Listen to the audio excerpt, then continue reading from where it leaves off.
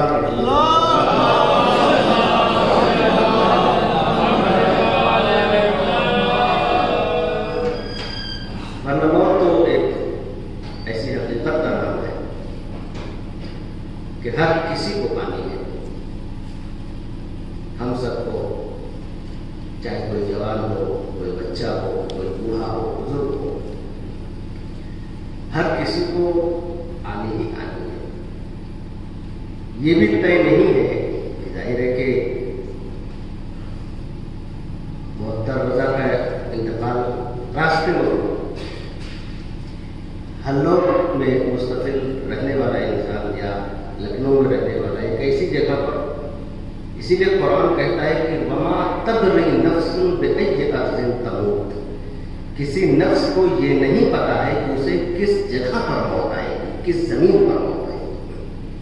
لیکن موت ہر کسی کو آنی ہے۔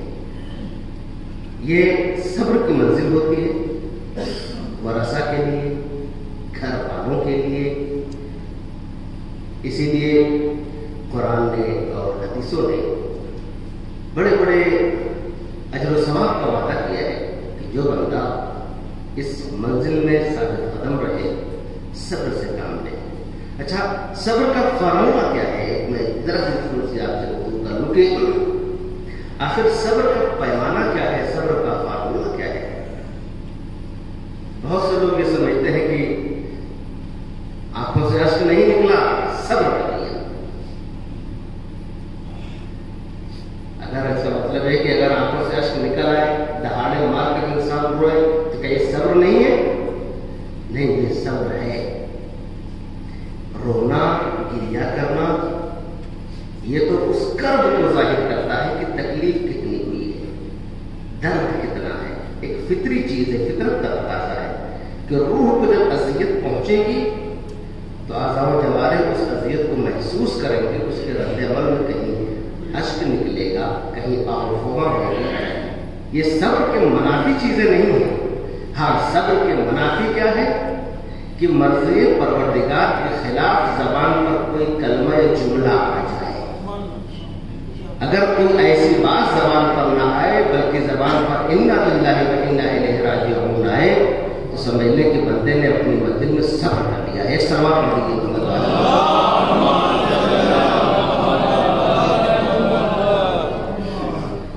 موت ایک ایسی حقیقت اور سچائی کا نام ہے کہ ممکن ہے بندہ احکامات دین کا انکار کر دے انبیاء کا انکار کر دے رسول کا انکار کر دے ائمہ کا انکار کر دے یا تو کہ خود خدا کا انکار کر دے لیکن کوئی موت سے انکار نہیں کر سکتا اور نہیں کسی کو موت سے فرار ہے موت سبھی کو آنی ہے کل نفس ذائقۃ الموت ہر نفس موت کے ذائقے سے الگ نہیں ہو سکتا اسے وہ ذائقہ ملے گا ملے گا۔ ہاں لیکن الگ الگ کیفیتیں اسی لیے لاکھ درد صحیح، لاکھ تکلیف صحیح، لیکن علی والے کو جب موت آتی ہے تو وہ فنا نہیں ہوتا، بلکہ بقا کی طرف چلا جایا کرتا ہے۔ ایک سلام کر دیجیے محمد والا۔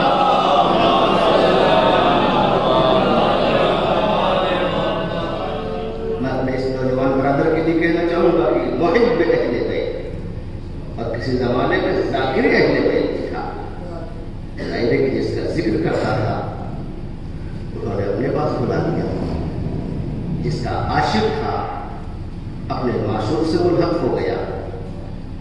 ظاہر ہے کہ یہ فنا کی جانب نہیں ہے، ایک انتقال مکانی ایک جگہ سے دوسری جگہ پر چلے جانا۔ اور بہترین امانت دار وہ ہوتا ہے جو امانت کو خوشی خوشی لوٹا دے اللہ نعمت کو دے کر بھی آزماتا ہے اور نعمت کو لے کر بھی آزماتا ہے۔ قرآن کریم کی آیت ہے وَلَنَبْلُوَنَّكُمْ ہم ضرور ضرور تمہیں آزمائیں گے۔ یہ خدا کا حکم ہے۔ وَلَنَبْلُوَنَّكُمْ یہ تاکید کے ساتھ کہ ہم ضرور بھی ضرور تمہیں آزمائیں گے۔ اس کا مطلب یہ ہے کہ ہم سب کو آماد رہنا چاہیے کہ وہ آزمائش کس شکل میں ہو سکتی ہے، کس نو سے ہو سکتی ہے، کس کیفیت سے ہو سکتی ہے اب وہ تفصیل میں ذکر ہے آگے وَلَنَبْلُوَنَّكُمْ بِشَيْءٍ مِّنَ الْخَوْفِ وَالْجُوعِ ہم تمہیں خوف کے ذریعے آزما سکتے ہیں بھوک کے ذریعے آزما سکتے ہیں وَنَقْسِمْ مِنَ الْأَمْوَالِ مال کی قلت کے ذریعے آزما سکتے ہیں یعنی ممکن ہے کہ متقی ہو انسان عبادت گزار گزار ہو پرہیزگار ہو لیکن بہت غریب مفلس ہو فقیر ہو تو ممکن ہے کہ خدا کی آزمائش ہو نقص من الاموال مال کی قلت آزما سکتے ہیں بل انفس نفس کے ذریعے جان کے ذریعے والثمرات پھلوں کے ذریعے پھلوں کے ذریعے یہاں علماء فرماتے ہیں کہ نہیں دل کے پھل کے ذریعے اور نفس کا پھل دل کا پھل پھل الولد بیٹا ہوتا ہے یعنی ہم تمہیں اولاد کا داغ دے کر اولاد کا غم دے کر آزما سکتے ہیں تو بات یہیں پر ختم نہیں ہوئی اب خدا نے اپنی گفتگو کے بعد اپنے حبیب کو مخاطب کیا۔ وبشر الصابرین اے میرے حبیب، اس طرح کی مناظر میں صبر کرنے والوں کو بشارت دے دیجیے الذین اذا اصابتهم مصیبہ قالوا انا للہ و انا الیہ راجعون۔ اور وہ علامت کیا ہے صبر کی؟ کہ جب ان پر اس طرح کی کوئی مصیبت پڑتی ہے، تو وہ انا للہ و انا الیہ راجعون کہتے ہیں۔ یعنی مطلب اس کا یہ ہے کہ ہم اللہ کے لیے ہیں۔ اور اسی کی بارگاہ میں پلٹ کر چل پاتے ہیں تو یہ کئی طرح کے امتحانات بالکل سادگی کے ساتھ میں آپ کے سامنے بیان کر رہا ہوں کہ ہمیں ہر لہذا ہر کام آمادہ رہنا چاہیے تیار رہنا چاہیے کہ کب کس وقت ہمارا پروردگار کون سے امتحان کے ذریعے ہم کو آسمائے اور یہ صرف امت پیغمبر ہی کی بات نہیں ہے ساری امتوں کی بات ہے ابھی کل کی مجلس میں میں نے کچھ باتیں ذکر کی تھی کہ کس طرح سے پروردگار عالم نے ہم سے پہلے کی امتوں کو آزمایا ایک سلوا پڑھتے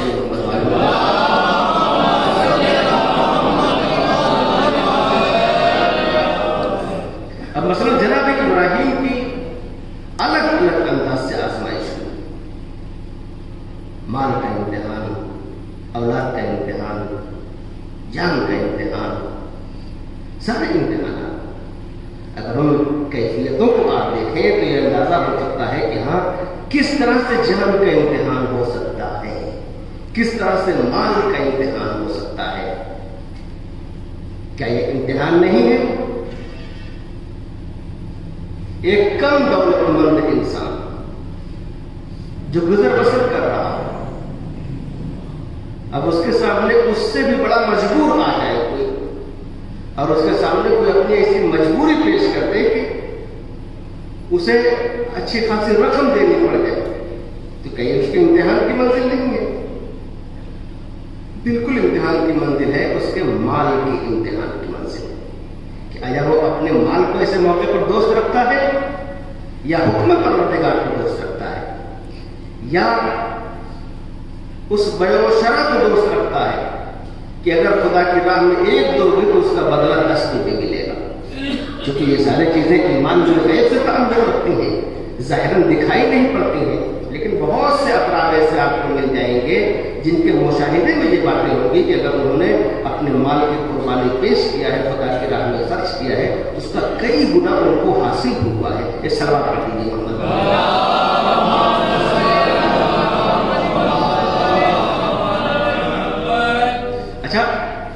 اس طرح کے امتحانات سے بڑے بڑے لوگ تو آسانی سے گزر جاتے ہیں۔ مثلا ایک کروڑ پتی ہے۔ اب اس کے سامنے چار چھ دس بچوں کے کپڑے بنوا دینے کی بات آ جائے۔ اس کے لیے کوئی مشکل نہیں۔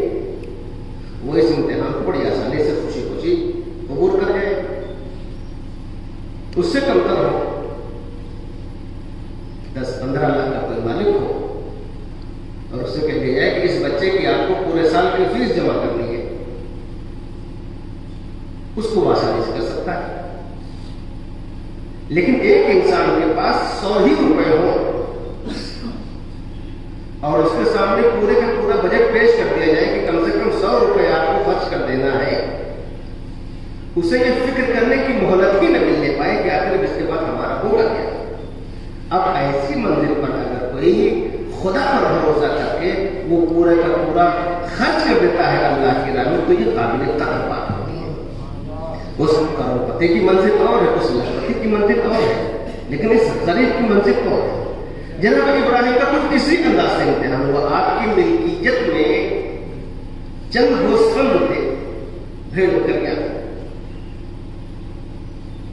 اور اولیاء اور الگ بھی موجود ہیں ہمارے بزرگ مولانا شاہد صاحب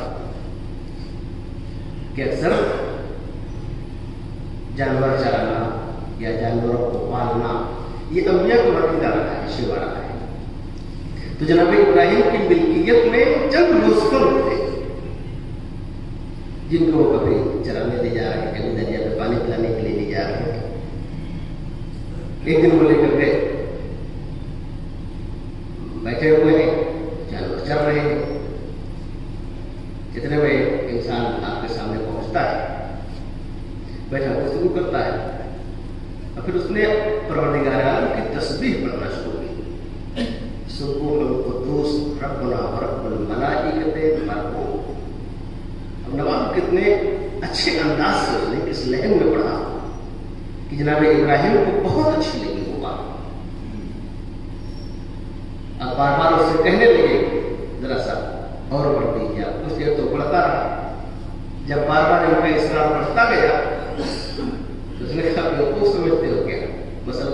کے بارے میں کہہ رہا ہوں کہ دیکھو سمجھتے ہیں کیا کہتے رہے اور میں تصویر پڑھتا جاؤں پھر آگے سکھائی جناب ابراہیم نے کہا چلو بھائی ٹھیک ہے ایک گوسفند میں آپ کو دے دوں گا مطلب ایک بکری آپ کو دے دوں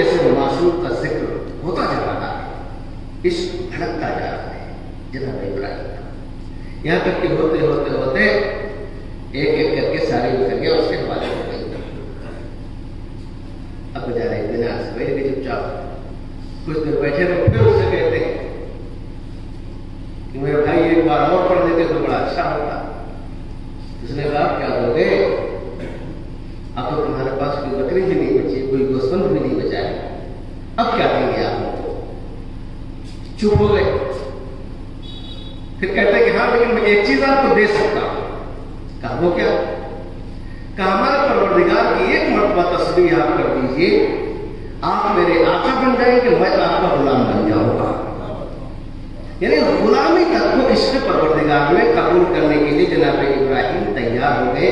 جب اس جذبے کو اس نے دیکھا تو اپنے ہاتھوں کو جوڑ لیا اور کہتا ہے کہ اللہ کے نبی، ہم کو معاف کیجیے میں آپ کو غلام بنانے نہیں آیا ہوں، میں تو خدا کا بھیجا ہوا فرشتہ ہوں۔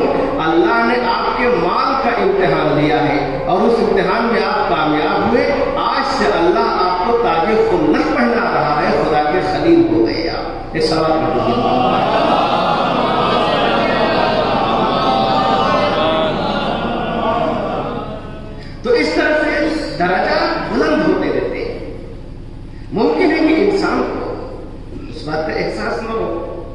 مثلا خدا بند عالم کسی کو آزمائش میں ڈال کر وہ کسی بھی قربان سے ہو سکتا ہے، اس کا امتحان دیا۔ ٹھیک ہے، بندے نے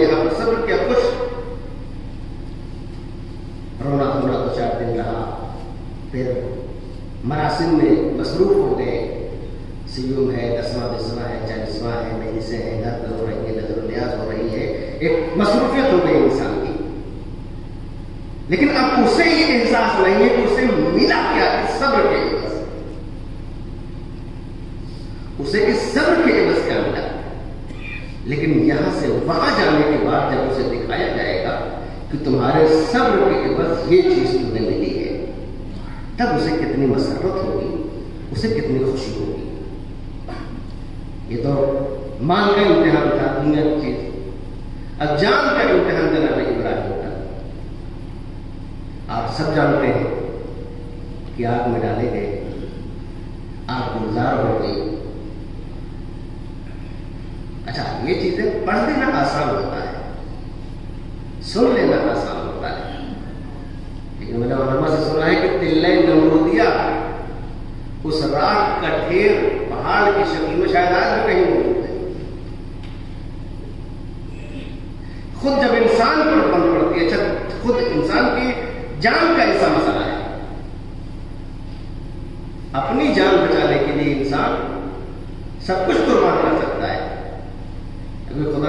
کسی کے گھر میں چور گھس جائے رات میں۔ اور اسلحے کے زور پر بندوق رکھ دے۔ سب کچھ انسان بتا دیتا، فلاں جگہ زیورات رکھے ہیں، فلاں جگہ پیسہ رکھا ہے، گاڑی کی چابی وہاں ٹنگی ہے، سب کچھ دے دو، لیکن ہمیں چھوڑ دو۔ بچاؤ کا ایسا بھی ہوتا ہے کہ انسان اپنے آپ کو بچانے کے لیے دوسرے گھر والوں کو بھی قربان کرتا ٹھیک ہے فلاں فلاں لیکن ہمیں نہ مارنا کسی کو بھی مارنا جب خود انسان کی اپنے اوپر پل پڑتی ہے، تو اس کا ترجمہ یا اس کی وضاحت کوئی دوسرا نہیں کر سکتا، وہی کر سکتا ہے۔ تو جناب ابراہیم کو جس وقت انجینئر کے ذریعے فضا میں اچھالا گیا ہوگا، کیا کیفیت رہی ہوگی؟ خود ان کے اندر بھی وہ خود بتا سکتے ہیں، کوئی اور نہیں بتا سکتا۔ لیکن ہاں روایت کے فکر کہتے ہیں کہ جس وقت فضا میں تھے، تو جبرائیل نے پوچھا کہ کیا آپ کو مدد کی ضرورت ہے؟ تو خلیل خدا نے کہا ہاں ہے تو، لیکن تم سے نہیں ہے، جس سے ہے وہ دیکھ رہا ہے۔ توکل اللہ۔ جس سے ہے وہ دیکھ رہا ہے۔ اس کا مطلب ہے کہ فضا میں اچھالنے کے بعد عموماً کوئی چیز اپنے قابو میں نہیں رہتی، ممکن ہے جناب ابراہیم کے ہاتھ پیر قابو میں نہ رہے ہوں، لیکن ان کا ذہن قابو میں تھا۔ ان کا دماغ قابو میں تھا۔ اب یہ کیسے اندھے مسلمان ہیں کہ جب ابراہیم جیسا نبی فضا میں جانے کے بعد بھی ذہن پر کوئی اثر نہیں ہوتا، تو جو فخر ابراہیم ہو، وہ کیسے حسیان پڑ سکتا ہے؟ ایک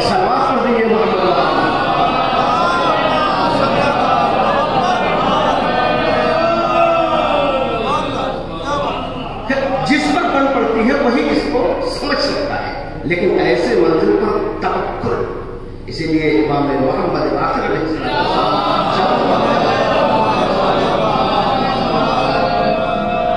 فرماتے ہیں من وفق باللہ وتوکل علی اللہ نجا نجاہ اللہ من کل سوء ومن کل عدو. جو خدا پر توکل کر لے، خدا پر بھروسہ کر لے، خدا بند اللہ اس کو ہر پریشانی سے نجات دلا دیتا ہے اور ہر قسم کے دشمن سے محفوظ کر جو خدا پر توکل کر لے یہی وجہ ہے کہ نعرہ تکبیر تو بہت بلند ہوتے ہیں، لیکن مراجے کیا یا مثلا اس نعرہ تکبیر کی گونج آیت اللہ خمینی یا خامنائی صاحب نے بڑے بڑے سپر پاور کو آنکھیں دکھا کر یہ کہا، ہم نے اللہ اکبر کہہ دیا ہے، ہم نے خدا کو بڑا مان لیا تو اس کے آگے کوئی بڑا نہیں ہو سکتا۔ یا ابھی حال ہی کی اس حادثے کو دیکھ لیں کہ حجاب کی بات پر ایک وہ اللہ اکبر ہماری قوم و ملت کی ایک بچی کا حجاب کے ساتھ کہنا کہ آج پوری دنیا میں اس کی گونج سنائی پڑ رہی ہے اور یہ سمجھ میں آ رہا ہے کہ واقعی خدائی طاقت اور اللہ اکبر کی طاقت کتنی ہوتی ہے۔ ایک سلوات کر دیجیے محمد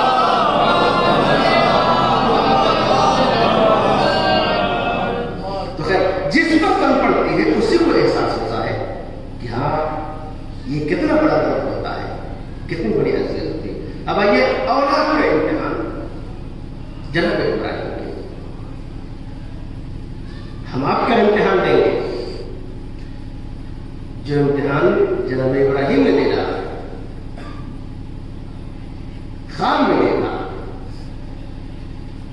اچھا ظاہر ہے کہ باپ کی محبت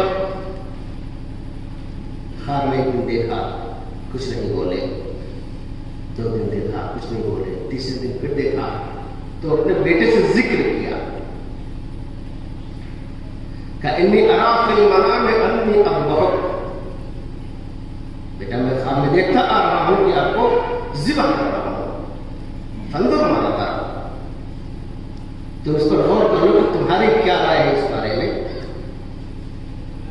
جانتے ہیں کہ بیٹے نے کہا تھا یا اب فعال عمر کہ بابا آپ اس کو انجام دیجیے جو آپ کو حکم دیا جا رہا ہے اس کا مطلب ہے کہ نبی اپنے خواب کو بیان کر رہے ہیں اور بیٹا بھی اس نوعیت کو پہچان کرتا ہے جو آپ کو حکم دیا جا رہا ہے اس کا مطلب ہے کہ نبی کا خواب خام نہیں ہوتا بلکہ حکم ہوا کرتا ہے اور پوری داستان ہے کہ آپ نے چھری لیا لیکن نکلے جب لے کر نکل گئے اچھا شیطان دیکھیے ہر منزل پر ممکن ہے کہ ہم کسی مرحلے صبر میں ہوں اور شیطان ہمارے اندر آ کے اکسانا شروع کرے کہ تم کچھ بولو کچھ الٹا سیدھا کہو اللہ رسول کے خلاف ماں اللہ ہر قدم پر شیطان جو کہ کھلا ہوا دشمن ہے قرآن کے روپ سے اس سے ہمیں ہوشیار رہنا چاہیے اب میرے جناب ابراہیم نکلے شیطان نے بزرگ کی صورت میں بزرگ کی شکل میں گھر پہ پہنچا دقل بات کیا مادر اسماعیل نے دیکھا دروازے پوچھا کون ہے تو اس نے کہا کہ بیوی آپ کو پتا ہے کہ آپ کے بیٹے کو کہاں لے کر گئے ہیں آپ کے شوہر تو آپ کو نہیں معلوم تھا، آپ نے کہا نہیں معلوم۔ اس نے کہا کہ چھری لے کر گئے ہیں ذبح کرنے کے لیے لے کر گئے ہیں۔ ظاہر ہے کہ ماں سے جب یہ کہا جائے تو پریشان ہو جائے اس لیے کہ کوئی ماں اپنے بیٹے کو ذبح ہوتا ہوا یا مردہ دیکھنا نہیں چاہے گی پریشان ہو گئی۔ پوچھتے ہیں کہ یہ بزرگوار آپ بتائے کہ میں کیا کروں؟ تو اس نے کہا کہ جلدی سے گھر سے باہر نکلیے اور جائیے۔ اپنے اپنے بیٹے کو، بیٹے کی حفاظت کیجیے جناب اسماعیل کی ماں نے فوراً کہا کہ تو مجھے شیطان لگ رہا ہے۔ اس نے کہا تو شیطان کی کون سی بات ہے؟ تو کہا کہ نبی کی زوجہ کو گھر سے باہر نکلنے کا مشورہ شیطان ہی دے سکتا ہے، کوئی اور نہیں دے سکتا۔ اس سوال کو دیجیے محمد والد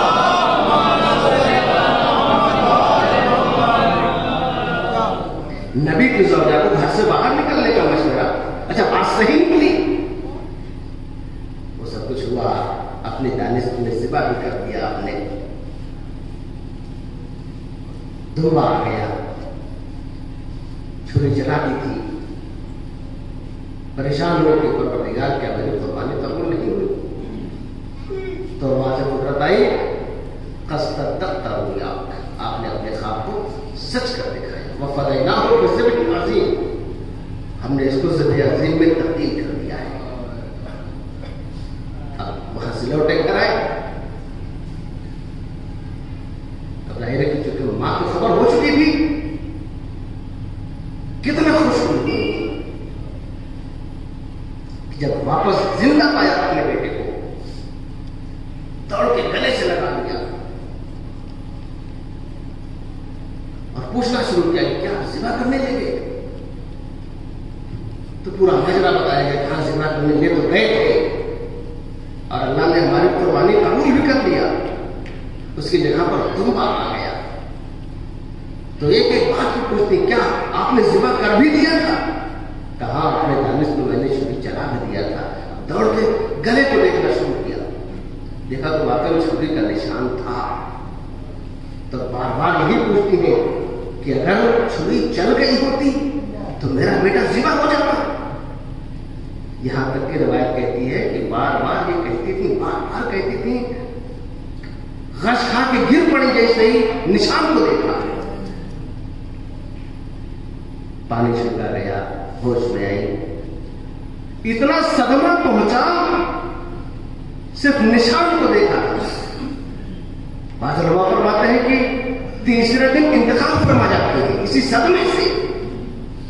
کہ آخر اگر چھری چل گئی ہوتی، تو کیا کیفیت ہوتی؟ واقعی دنیا کی مائیں کیا صبر کریں گی جو مادر علی اکبر ان میں نیا میں صبر کیا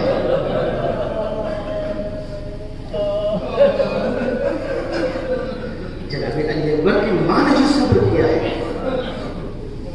یہاں پر کوئی نشان نہیں، بلکہ رخصت کر رہی ہے جا میرے اچھا ہمارے آپ کا بیٹا انتقال ہوتا ہے۔ مصیبت آئی اور گزر گئی۔ مصیبت آئی اور گزر گئی۔ وہ کہ صبر ہو گیا، کربلا والوں کا ذکر ہوا، خدا نے صبر دے دیا۔ لیکن ام لیلا کے دل سے کوئی پوچھ یہ کوئی ایک دن کی مصیبت نہیں تھی۔ بلکہ کربلا سے کوفہ کوفے سے شام، اہل حرم کے سامنے، مادر علی اکبر کے سامنے، علی اکبر کا کٹا ہوا سر لوگ کے پر دکھایا جاتا ہے۔ آج ہمارا نوجوان انتقال ہوتا ہے تو دفن کر دیا جاتا ہے، چونکہ نہیں آثار کو مٹا دیے جاتے ہیں۔ عمر کوشش کیا ہوتی ہے کہ اگر بیٹے کی کوئی فوٹو بڑی سی گھر میں لگی ہو تو کچھ دن کے لیے اتار کے چھپا دی جاتی ہے۔ اس سے کہ ابھی ماں دیکھے گی تو تڑپ جائے گا باپ دیکھے گا تو تڑپ جائے گا۔ لیکن ہر میں لیلا نے جناب زینب میں کیسے صبر کیا ہوگا؟ جس وقت علی اکبر کا کٹا ہوا سب لوگ کے نیزہ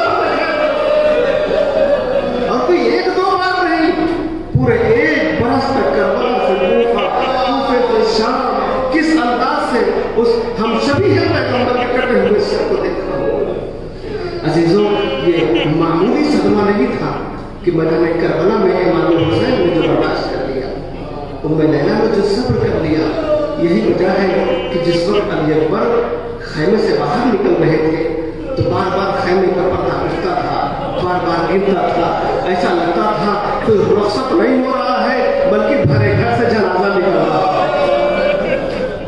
جناب علی اکبر میدان میں جاتے ہیں عزیزوں، قیامت کا جہاد کرتے ہیں، جنگ کرتے کرتے ایک نامی پہلوان علی اکبر تین دن کے بھوکے اور پیاسے ہیں۔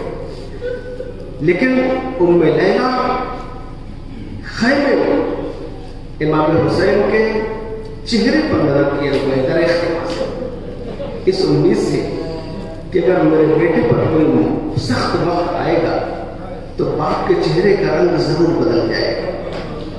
اتنے میں امام حسین کے چہرے کا رنگ متغیر ہوا ماں تڑپ گئی فوراً فضا کو بھیجا کہا جاؤ دیکھو خیر تو ہے اور جب فضا گئی تو کہتی ہے کہ علی اکبر کے سامنے ایک نامی گرامی پہلوان آیا ہے اسی لیے چونکہ وہ سیر و سیراب ہے اور علی اکبر بھوکے پیاسے ہیں آقا نے فرمایا ہے کہ جاؤ مادر علی اکبر سے کہو کہ علی اکبر کے حق میں دعا کرے ماں کی دعا بیٹے کے حق میں مستجاب ہوتی ہے اب ہاتھ بلند ہوئے اے یوسف کو یعقوب سے ملانے والے پروردگار میرے علی اکبر کو مجھ سے ملا دے عزیز و دعا مستجاب ہوئی۔ علی اکبر فاتح ہو کر آئے۔ اب دوبارہ پھر جب میدان میں جاتے ہیں عزیزوں تب وہ بھاگا ہوا دشمن پلٹ آتا ہے کسی شقی نے۔ ایک ایسی جگہ سے چھپ کر وار کیا جو کہ سینے پر آ کے لگا۔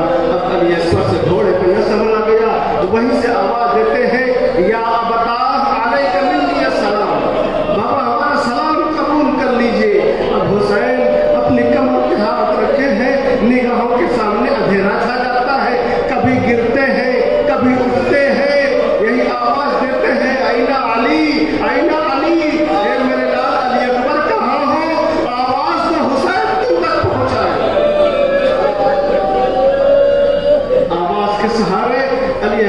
علی امام حسین پہنچے ہیں، تو وہاں پر کئی ایک مناظر امام حسین نے دیکھے۔ پہلا منظر تو دیکھا کہ جوان بیٹا اپنے سینے پر ہاتھ رکھے ہوئے سر کو اٹھا کے زانوں پہ رکھا۔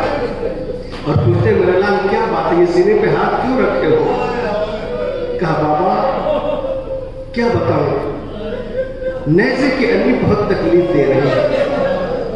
شاید علی اکبر ہاتھ رکھنے رکھے تھے اس لیے کہ بابا کو وہ زخمی سینہ دکھانا نہیں چاہتے ایک مرتبہ امام حسین نے اپنے ہاتھوں سے ہاتھ کو پکڑ کر ہٹایا اور کہا، رکو، ہم تمہارے تکلیف کو ختم کر دیتے ہیں۔ نیزے کی علی نکالنا چاہیے۔ دو زانو ہو کر بیٹھ گئے۔ میں کہوں گا یہ ابراہیم خلیل خدا، آؤ حسین کا امتحان دیکھو۔ وسائل کس انداز سے امتحان دے رہے ہیں۔ ایک مرتبہ نئے سے علی جیسے نکالی، علی کے ساتھ ساتھ الجھا ہوا، علی اکبر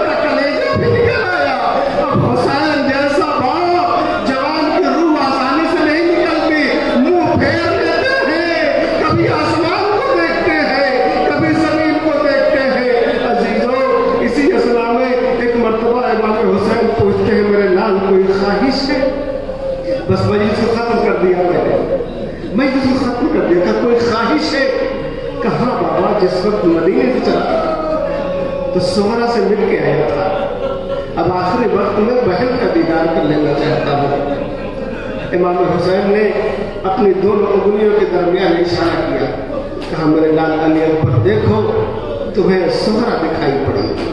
اب علی اکبر نے دیکھنا شروع کیا، کچھ نظر نہیں آیا۔ کہا، پھر غور سے دیکھو۔ دیکھا تو کہا ہاں بابا، مدینہ رسول نظر آنے لگا۔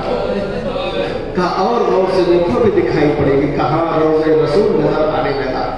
کہا، اور غور سے دیکھو، اب جو دیکھا کہاں بابا اپنا گھر دکھائی پڑ رہا ہے؟ کہا، دیکھو سہرا نظر آئے کہاں نظر نہیں؟ کہاں کچھ دکھ رہا ہے؟ کہاں آنگن میں کوئی ضعیفہ سر جھکائے بیٹھے ہو امام حسین نے فرمایا، میرے لال وہ کوئی ضعیفہ نہیں ہے، وہی تیری بہن سہرا ہے، تیرے نقش قدم پہ اپنا رخسار رکھے ہوئے تیرا انتظار